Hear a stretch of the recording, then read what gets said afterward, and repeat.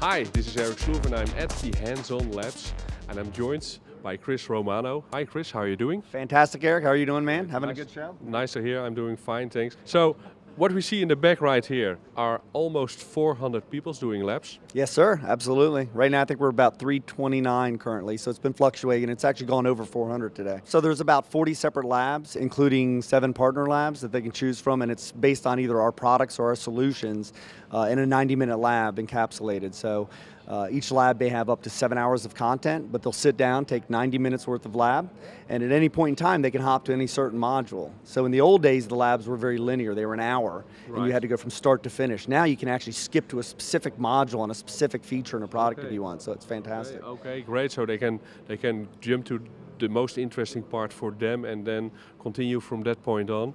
And uh, how, how long does a, an average lab take? How, what's your slot? So about 90 minutes. But like I said, we have labs that have seven hours of content. So they get the first 90 minutes, they can come back and pick it up at any module at any time. That's the beauty of the modularity of the labs this year. Let's talk about a few figures. There are almost how many virtual machines uh, uh, deployed today? So today alone we deployed over 20,000 VMs. We have almost 70,000 VMs running since Sunday. So that's amazing. 70,000 yeah. VMs in total deployed, so you're yeah. nearing the 70,000. What's the goal? What, what, what, do you hope to get? Tomorrow there's no solutions exchange. I think a lot of people will visit the hands-on labs. So I think 90,000 is probably a reasonable target. If we get another 20,000 in tomorrow, we'll hit 90,000. That'll be okay. good, good, good target. Cool. How is the how is the, the, the you can do a lab uh, on your bring your own device uh, uh, way, or you can sit uh, behind a monitor out here. How many people are uh, actually using the bring the, the, own device option?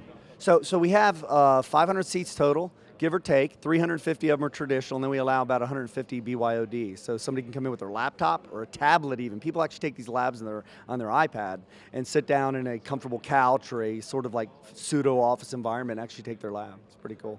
So what I remember from previous years is that uh, there was an enormous amount of people and energy needed to get the labs up and running. And what I saw this year is that the labs were uh, starting to build right after the last VMworld, and the project was all already uh, up and running. It was called Project NEE, yes. and there were even some public invites to do uh, to give it a test spin. Is this all running in the cloud? Yes, it's all running in the cloud in two data centers in Wenatchee, Washington, and Las Vegas.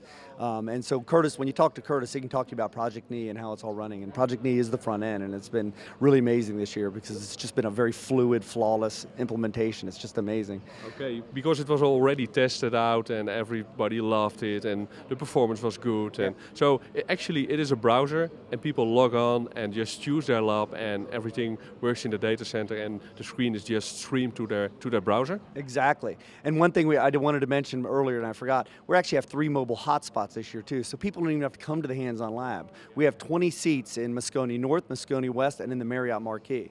So people can actually go take the labs hanging out in the, the lobby of the Marriott Marquis if they want, which is another additional thing. And yes, like you said, it's all streamed wirelessly, wired, however they want to do it. Okay, so this must be monitored because uh, you want to be sure that everything is up and running. Can you show me some, uh, uh, in, can you show me the NOC? The NOC is cool. You want to take a look at the NOC or are we, we going to go mobile? Right. All right, take a look over here. So let's walk over to the dashboard and I'm going to hand you over to Curtis Pope, who's one of the architects from Project NEE, and he'll go ahead and explain uh, what the underlying architecture and all the components are and show you, walk you through all the different dashboards. Right, right. many thanks Chris. Alrighty. See you, bye. Hi Curtis, how are you? Good, good to see you. Thanks great, for coming. Great. Uh, so you are, you are one of the inventors of uh, Project NEE. Who is the other one? That's right, uh, myself and Mike DiPetrillo. Uh, we founded the Project NEE uh, to fill a need with uh, primarily our PSO education and tech marketing teams. Okay, but before we are going to talk about Project NEE, first of all, what do we see here? Is this vCenter operations in full speed? Oh, we have uh, vCenter operations, we have Log Insight, we're also monitoring some of our XtremIO and also um, our just our Project NEE environment as well. So what do you monitor with vCenter operations? Latency, CPU ready, ballooning, uh, the amount of desktops rolled out? What are the metrics that are really important for a hands-on lab? Well, in this room we have a very large amount of VApps and VMs that we provision. So uh, keeping a track of hotspots for CPU and memory usage, that's one of our biggest things. Also for the storage, making sure that we are getting uh, the response that people need to be able to take the lab. So those are the three things we primarily look at. Is it, uh, is it not especially difficult to monitor uh, uh, the labs because they are nested? ESXi is running on ESXi? It is, but it's still, when it comes down to the basics, you still have IOPS, you still have memory, and um, you know the fundamentals are still the same. So um, it's just at a much larger scale, and you have to take into consideration that if you have problems at the underlying level, that your nested environment's going to be even worse. Is that is that beneficial that you can use vCenter opera operations because you can create relationships, for instance?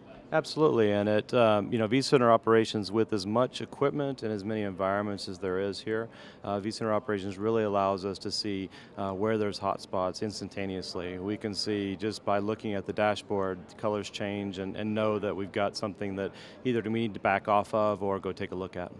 Cool. So you are also uh, let users bring their own device. If users are complaining about performance, it can be their own device. How do you cope with that problem? It could be. Uh, we do some things, uh, we have speed test within our uh, application that allows us to test the latency and the bandwidth from the device itself.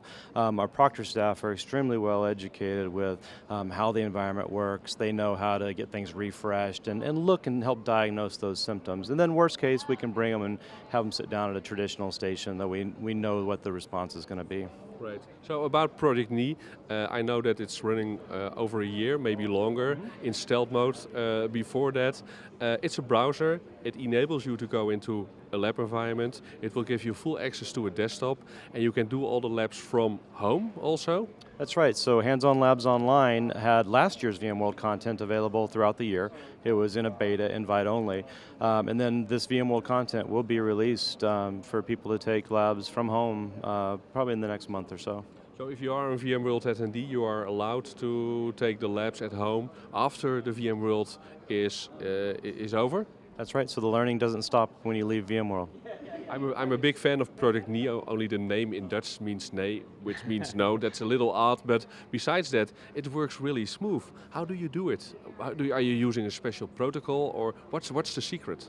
Well, so the, the Project NEE environment is a, is a collection of uh, servers. There's a, a, lot more to it than just the front end. Uh, you know, a lot of provisioning happens behind the scenes. Uh, we do things like pre-populate the, the labs to ensure that when attendee comes and, and tries to take that lab, they only have to wait generally about 15 to 20 seconds for that lab to be available to them then the experience itself within the browser, it's a very rich JavaScript-based environment, including a really cool component called WebMKS, and that's the console that's inside the, um, that allows you to get into the virtual machine console.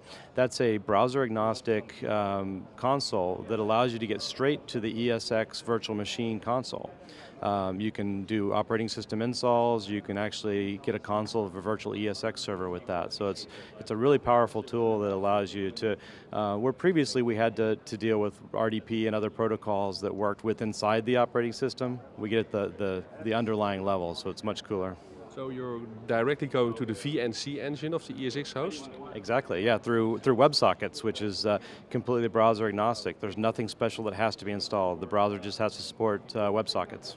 Cool, cool, great. So if people are not attending VMworld and want to have access to uh, the labs, is there going to be an opportunity to, to pay for it, for instance? Um, I don't think they'll have to pay for it actually. I think they'll be released uh, free online through the VMware Hands-On Labs online. Um, you can go to uh, VMware.com and there's links to HOL there and they'll be able to um, sign up and, and get access that way. Thanks Curtis. Thank you.